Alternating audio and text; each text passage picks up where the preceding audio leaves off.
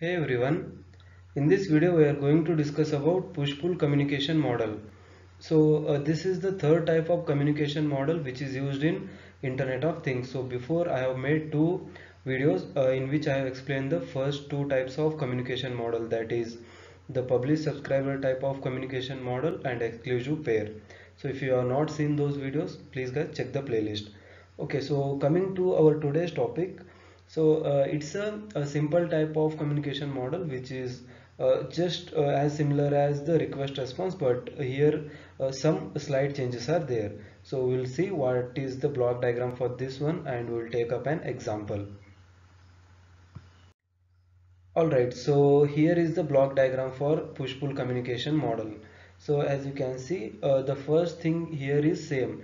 That is we will be having a publisher here so the publisher is one which is generating the data. So the work of publisher is uh, it sends the messages to queues here. So uh, it is same as uh, the publisher consumer and in between the broker will be sitting in case of publish subscriber model. But in case of this instead of broker we are having the queue here. So that is basically acting as a connecting element between the publisher and consumer. So it is also acting as a buffer in this case as it is storing the data for some time. Okay so that uh, if there is some mismatch between the data at which uh, data rates between publisher and consumer. So let us take an example of uh, a scenario where uh, the publisher will be generating the data at a rate of 10 kbps and the consumer is only able to handle the data or receive the data at 8 kbps. Then uh, the difference of 2 kbps between these 10 and 8 is managed by the queues as it will be storing the data for some time.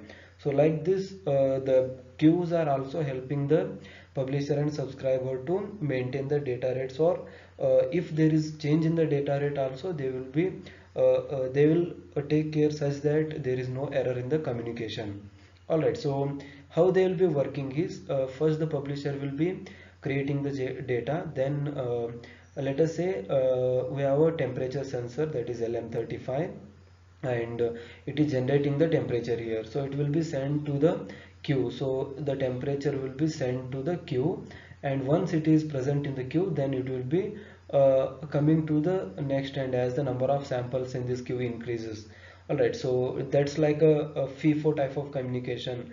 Uh, so where the first element which is in uh, will be the first element which will be uh, coming out of the queue. So a FIFO type of communication I can say. So consumer will be fetching the data from this queue. So the publisher will be pull, uh, pushing the data to the queue and consumer will be pulling the data from the queue. So like this whatever data is sent to the queue it will be uh, moving in this direction. That is from publisher to consumer via queues.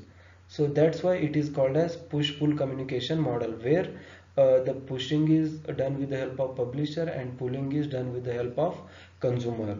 Alright so uh, the same thing happens for the second consumer also. So we can have a n number of consumers here. So I have listed some of points for this one. So the first point says that push-pull communication type of uh, model in which the data producers push the data to the queues and the consumers pull the data from the queues so producers do not need to be aware of the consumers.